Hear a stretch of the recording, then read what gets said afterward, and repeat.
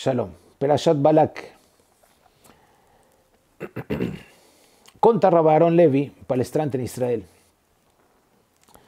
que en una época él estaba dando una serie de palestras en determinado bairro, en determinada ciudad de Israel, semanalmente, colocando anuncios, propaganda, etc. Y o más interesante, eh, o mais interessante é que sempre tinha um dos participantes das palestras, ele vinha só para atrapalhar mesmo. Só para fazer perguntas e atrapalhar e não deixar correr a palestra como corresponde. E ele perguntava e de qualquer coisa ele zombava e ria e fazia. Então, depois de dois ou três palestras que este senhor chegava, o Rav depois da palestra, chamou ele e disse: Olha, eu entendo que eu estou tentando transmitir uma coisa que eu acho verdadeira para as outras pessoas que talvez por ignorância não sabem. Mas eu não entendo sua, seu comportamento. Você vem aqui só para atrapalhar. Por que você quer atrapalhar?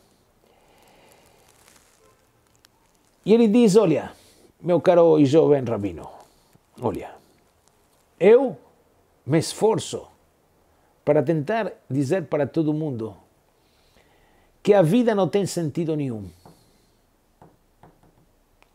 E não tem nenhum significado. E a vida é como se vive, e isso que vocês estão tentando transmitir não tem nada a ver.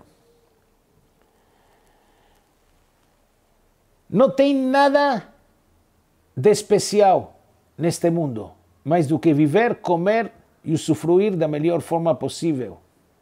Ou, em outras palavras, Nihye venochal ki mahar namut. Isso que eu quero transmitir. Não vem aqui com coisas de Kedushá, de Tahará, de cumprimento, de Torá, não tem nada. E o Rav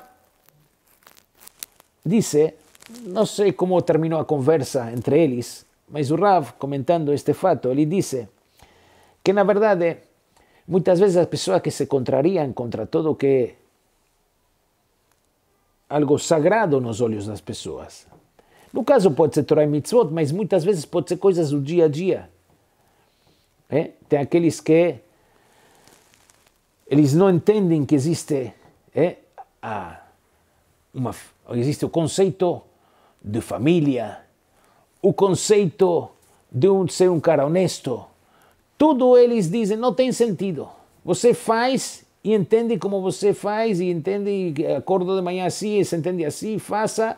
Não importa se tira alguma regra ou não, não tem nada de santidade, não tem os olhos. Diz o Rav assim, olha, isto é uma coisa que na verdade é uma situação antiga. E o motivo disto é o seguinte, é simples, é simples. Quando a pessoa se... Ele chega num ponto que ele vê que existe alguma verdade, ou que tem algum sentido à vida, ou que tem um significado, então isto limita a pessoa. Limita. E a pessoa não gosta de ser limitado. Que coloquem limites para ele. Ele não gosta que coloquem limites para ele. Em nenhum sentido. Em nenhum sentido. Então, como ele não gosta que coloquem limites, então ele diz: Isso aqui não faz sentido, isso aqui não tem significado nenhum, e assim por diante. Nós temos, e isto é uma coisa muito antiga. Vamos na perachá da semana? Vejam bem. A Torá, depois que Balak contrata o mago, Bilam, bruxo, para tentar amaldiçoar o povo e não consegue. No capítulo 25, no final da perachá, a Torá nos conta o seguinte. Vayeshev Israel Bashitim. E Am Israel estava acampado em Shittim, Vayachel Am liznot et benot Moab. Povo começou a se prostituir com as filhas de Moab. Vatikrena Laam lizivche Elohem. E chamaram um povo para fazer idolatria. Vayochal Laam. Vaishtahabu Elohem. E o povo comeu e se curvou na frente de Deus, agora vamos ver, desse Eloá. Vaitzamet Israel le Baal Peor. Idolatraram Baal Peor. Vaiharaf Hashem Israel, Loal não ficou Hashem furioso com Israel. e, como é conhecido a continuação, faleceram 24 mil Yehudim nesta oportunidade. Diz Agmará, Masachet Sanedrin Kuvav, Rashi traz isto. Como de repente o povo começou a se prostituir com as filhas de, de Moab. Conta Agmará Masachet Sanedrin o seguinte. Isso foi a Etzá, foi a ideia do Bilam, quando ele não conseguiu amaldiçoar o povo com suas palavras, ele deu essa ideia. E falou para o povo assim: vocês vão, falou para Balak, você solta as filhas de Moab para prostituir o povo. E se prostituíam vendendo coisas. Faziam o Yehudi entrar na loja para comprar alguma coisa. Mas que tem a ver só com idolatria? Diz, você faça idolatria. O que quer dizer idolatria? Baal Peor. Que era esta idolatria Baal Peor? Desculpa falar aqui isto, mas assim era a idolatria. A idolatria era fazer as necessidades em cima do ídolo. Em outras palavras, o ídolo era uma privada. Assim era o ídolo de Baal Peor. E a própria palavra diz peor, significa que mostrava as partes íntimas na hora de fazer suas necessidades. E a pergunta que cabe aqui é o seguinte: ídolos, religiões. Você pode ter uma estátua, pode ter uma imagem, pode ter alguma coisa, mas este tipo, você chama de idolatria isto? Como você chama de idolatria? Explica Baalé Mussar o seguinte: o mais santificado para qualquer ser humano é sua religião. E quando você pega um ídolo e você despreza ele deste jeito, quer dizer que não tem nenhum parâmetro de santidade para você em baixo nenhum aspecto, nenhum, nenhuma coisa. E isto que eles, esta era a filosofia de Baal Peor. Pegar o mais sagrado e fazer a pior coisa com ele para demonstrar que não tem nada sagrado. Esta era a filosofia de Baal Peor. E o povo de Israel pecou com isto.